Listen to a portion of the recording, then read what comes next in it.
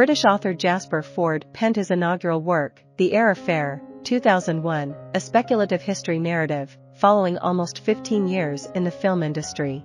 Fforde revealed that the novel faced rejection 76 times before finding a publisher.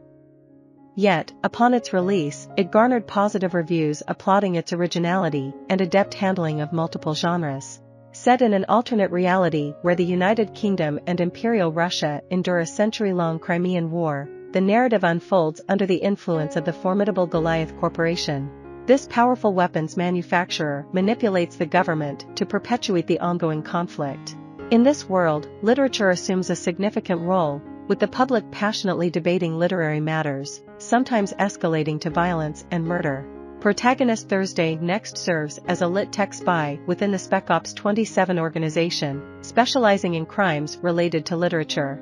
A veteran of the Crimean War advocating for peace, she conceals her beliefs due to her government position.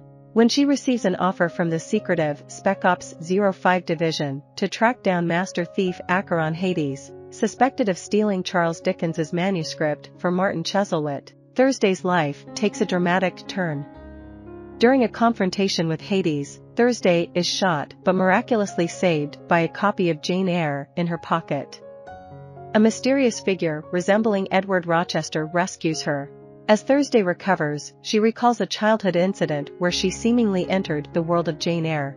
A future version of herself warns that Hades is not dead and advises her to take a lit tech job in her hometown. Following the advice, Thursday reunites with family and acquaintances, encountering her ex-fiancé, Landen Parke-Laine, and Goliath Corporation operative Jack Schitt.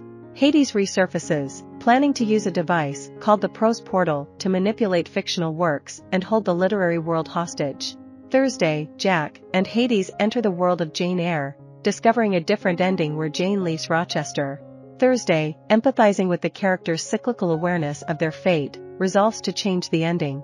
After defeating Hades within the novel, she alters the conclusion, allowing Jane and Rochester to stay together. Returning to the real world, Thursday learns of Jack's intention to use the prose portal for war. Initially agreeing, she ultimately traps Jack in Edgar Allan Poe's The Raven and destroys the device to prevent further misuse. The Eyre Affair stands as a genre-blending novel with a whimsical sense of humor, and Fforde has expanded the Thursday Next universe with a series of seven novels across two interconnected series.